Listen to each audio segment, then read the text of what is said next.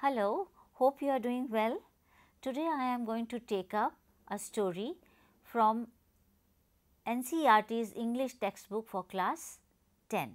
The name of the textbook is First Flight and the name of the story is Madam Rides the Bus. We had discussed part 1 of the story in our previous session. Part 1 of the story introduces us to Valli.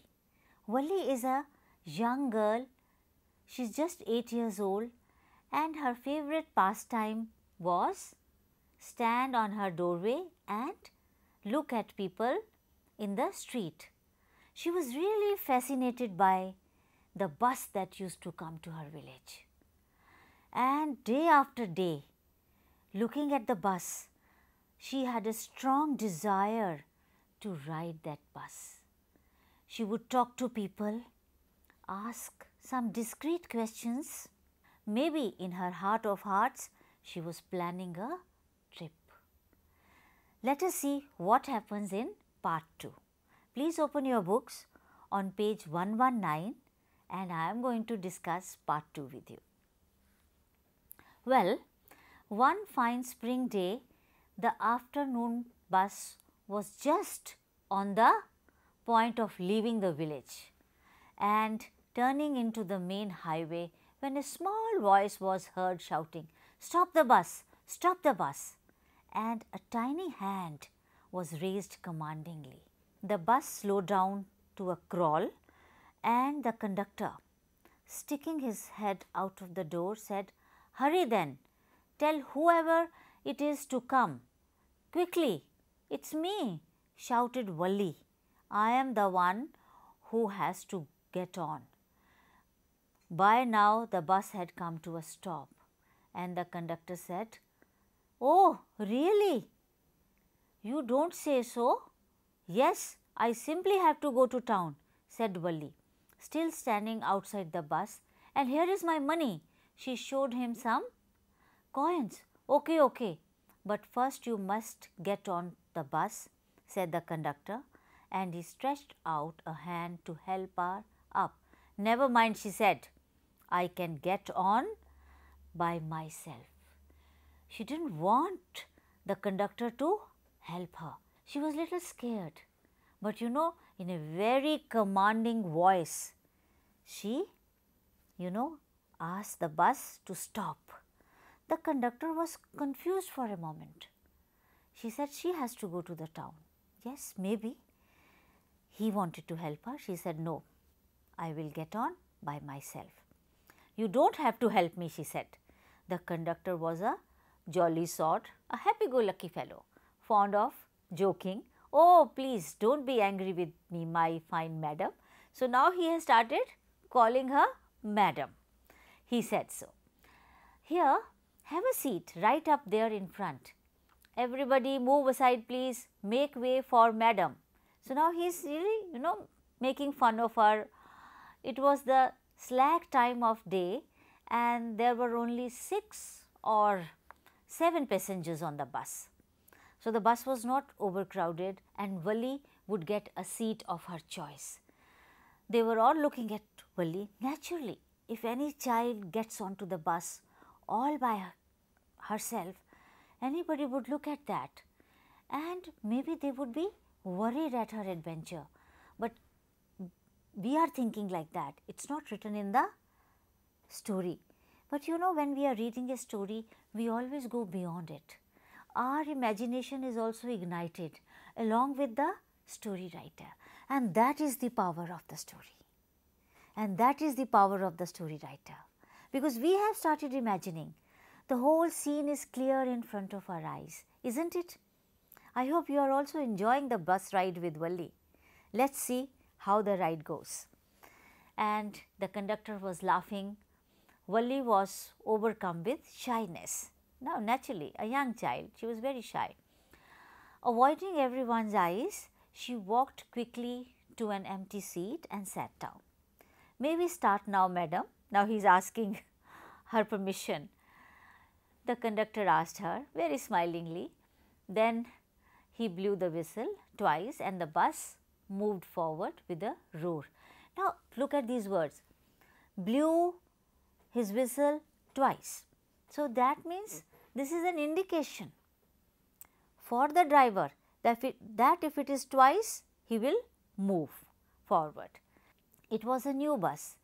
Its outside was painted with a gleaming white and it had green stripes along the sides. Inside the overhead bus shone like silver directly in front of Valli.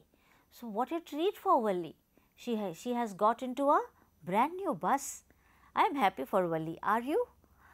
Let us see how is her bus ride. So, above the windshield there was a beautiful clock. The seats were soft and luxurious. Valli devoured everything with her eyes. Now, the word devoured, generally this word is used you know uh, for food, devoured, but here the author has used the word for eyes.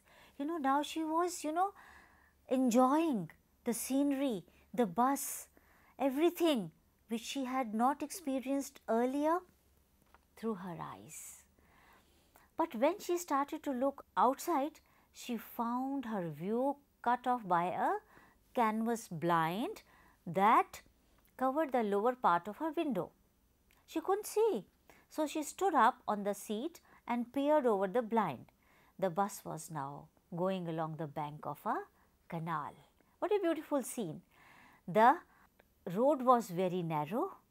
On one side there was the canal and beyond it palm trees, grassland, distant mountains and the blue, blue sky. Beautiful picture, isn't it? It looks as if the writer is describing a painting in front of eyes. Let us read further. On the other side was a deep ditch and then acres and acres of green fields. Green, green, green as far as the eye could see. Oh, it was all so wonderful. Suddenly, she was startled by a voice. Listen, child, said the voice. You shouldn't stand like that. Sit down. Sitting down, she looked to see who had spoken. It was an elderly man who had honestly been concerned for her, but she was annoyed by his attention. She didn't want anyone to meddle with her or tell her anything. No, that old man was concerned about her, but she didn't like. There's nobody here who is a child, she said. See, she is pretending to be a grown up person and the scenery that has been described by the writer is beautiful. Today also, if we go in a bus or in a train, we can see such scenes. So, if you have to describe a train journey or a bus journey, you can use those descriptions. Read it again, underline them and when it comes to writing, you may use them. And that is how we connect reading and writing. We learn a lot when we read and we can use it while we are writing. So, we have come to know that Valli was pretending to be a grown up person. The conductor chimed in, Oh sir, but this is a very grown up madam. Do you think a mere girl could pay her own fare and travel to the city all alone? Valli shot an angry glance at the conductor and said, I am not a madam, please remember and you have not yet given me my ticket, I will remember. The conductor was mimicking her tone, everyone laughed and gradually Valli too joined in the laughter. You see Valli had a great presence of mind. She had given her fare, but the conductor had not yet given her the ticket and she knew that. So, you know she reminded him of that. The conductor punched a ticket and handed it to her. Just sit back and make yourself comfortable. Why should you stand when you have paid for a seat? Once again he is making fun of her. Because I want to, she answered, standing up again. But if you stand on the seat, you may fall and hurt yourself when the bus makes a sharp turn or hits a bump. That's why we want you to sit down, child. Valli said, I am not a child, I tell you. She said irritably, I am 8 years old. Of course, of course, how stupid of me. 8 years. The bus stopped, some new passengers got on and the conductor got busy for a time. Afraid of losing her seat, Valli firmly sat down. An elderly woman came and sat beside her. Are you all alone, dear? she asked Valli as the bus started again. Valli found the woman absolutely repulsive. Why? Because she has asked her a question, Are you all alone?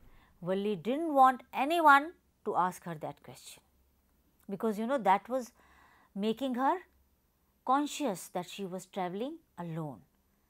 Maybe you know she was a little scared, but she didn't want to show it to anyone. And there were other things also. She had big holes in her ears. She her you know uh, ear lobes were very big and she was wearing ugly earrings and she could smell the betel nut the woman was chewing and see the betel juice that was threatening to spill over her lips at any moment. Ugh, who would be sociable with such a person?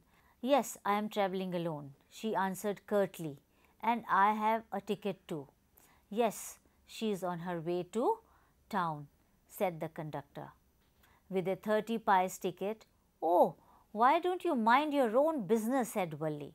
See, Valli is now getting angry. She has scolded the conductor but she laughed all the same and the conductor laughed too, but the old woman went on with her drivel.